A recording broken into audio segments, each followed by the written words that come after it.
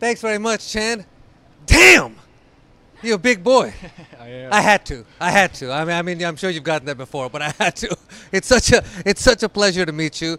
Um, not, of course, the way you want to move into the next round, but um, what an opportunity playing in this event and, and even taking on a guy like Tommy Paul. You must have taken away some good, uh, some good lessons from it. Yeah, definitely. Like you said, uh, not the way I want to win ever. Uh, it was a great, great start to the match. I thought Yeah. uh, the crowd showed up, even though there were a majority of them uh, cheering for him. But for me, these kind of matches is something I've been looking forward to for a very long time.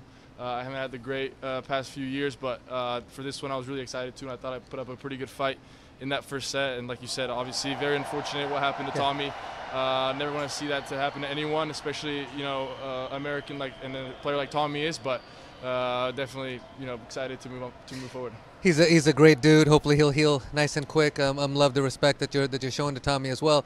Talk about your first round. We didn't get a we didn't get a chance to chat with you, but that impressive win, six and six over Triple Z. He's been playing some serious ball. Um, how did you and your team uh, discuss after you got over the finish line there?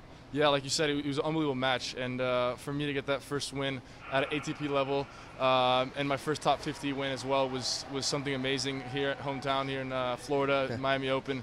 You know, thanks to IMG for giving me the wild card here, and uh, you know, obviously we were very happy, but we knew I had a pretty good chance against Tommy as well, so it was kind of taking one match at a time. Uh, enjoyed the win for the night, but was ready to play Tommy. I just want everyone at home to get a little bit of your history because um, you know you've been making waves and, and have been a name to watch out for for quite some time. 2019, you took out Holger Rune and Carlos Alcaraz in a junior event in Porto Alegre.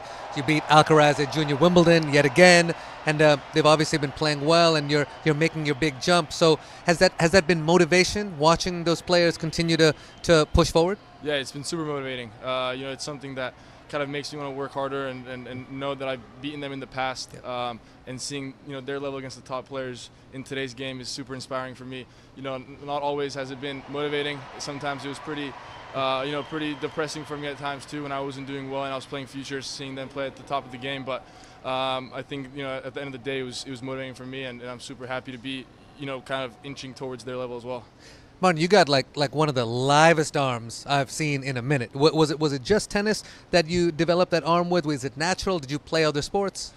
I want to say it was, it's mainly been natural. I mean, we played uh, with my brother and I. We played uh, quite a few different sports when we were younger, uh, but nothing really, you know, to do with the arm. We, we grew up playing ice hockey Okay. with uh, Toby Kodat, who's also my year, and, and Sebastian Korda was was playing in the team above us. That was kind of our main sport with tennis, but um, yeah, I think it's, it's been natural, and obviously, you know, kudos to my dad for, for giving me good genes as well.